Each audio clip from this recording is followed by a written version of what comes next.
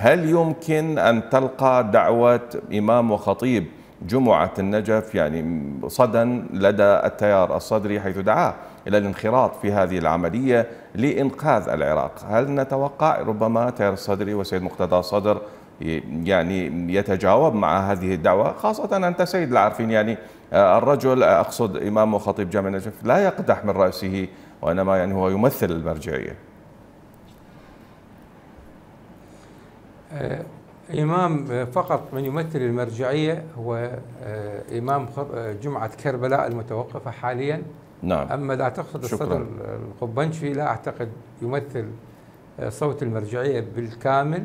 المرجعية أيضا هي تدعو للسلام والهدوء. لكنه قريب من المرجعية يعني السياسيين ولا مسألة أمتار أو كيلومتر يعني عن المرجع الاستسلام لا لا لا لا لا علاقة للمسافة بين التأكيد وبين هذا الصوت يمثل المرجع المرجعية لها منبر نعم. وهي قادرة على التعبير عن نفسها ولكن أقول لك بصراحة الذي يعرف التيار الصدري والذي يعرف شخصية السيد مقتدى الصدر لا أعتقد أنه سيتراجع بسهولة أو أنه سيشترك في العملية السياسية وأنه لن يقبل مطلقا بالاشتراك في تشكيل حكومة يعني يترك 73 نائبا ومنصب نائب رئيس مجلس النواب.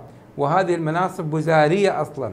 ويشارك في ست وزارات هذه لا أعتقد تنفع. وأن شارك فيها أعتقد هي النهاية للتيار الصدري أمام جمهوره. وأمام كل المراقبين. لذلك المشهد سيبقى معقدا وما زالت الاتفاق الاتفاقات السياسية والحوارات قيد يعني قيد التفاهمات لحد هذه اللحظة لم يتمخض عن اتفاق كردي.